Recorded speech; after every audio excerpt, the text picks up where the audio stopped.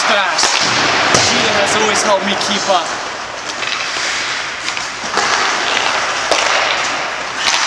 No caffeine, no crash, that's no bull.